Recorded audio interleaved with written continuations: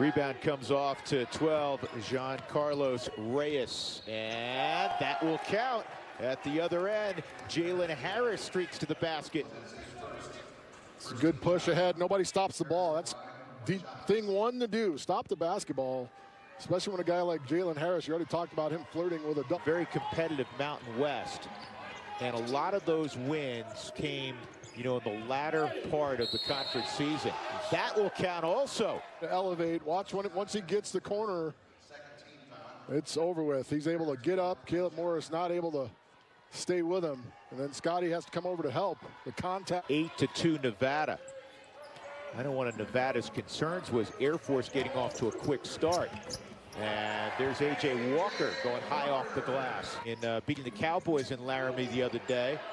But uh, not hot early. But Nevada, Nevada absolutely is. Meeks another triple. Skip pass, Swan, or excuse me, to Jazz Johnson from Lindsey Drew. Here's Harris. This is ridiculous. Nevada on fire. Kane Millings come in number 11 with the basketball for Nevada. He's coming off a 20-point game up at Wyoming. Jazz Johnson can flat out shoot it, and there's your evidence. One of the many foolish things I would say in the course of a broadcast, but you know that, th that this is a, a particularly busy time for kids at the academy. There's a good feed, and Harris goes up and dunks it.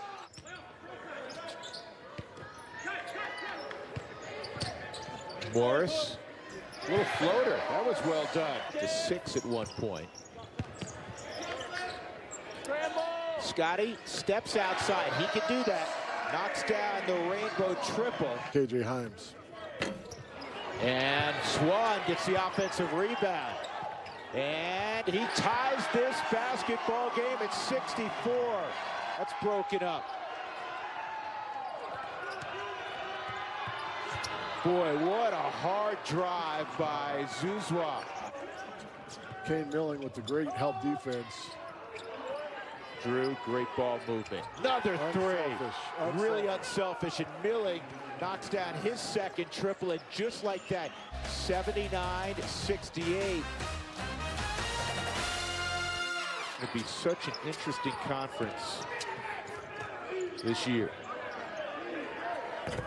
There's a three. Well, it's hard to throw it through a person. Well, you can come back and make a block, as Zouzoua just did. And Meeks going to pick up.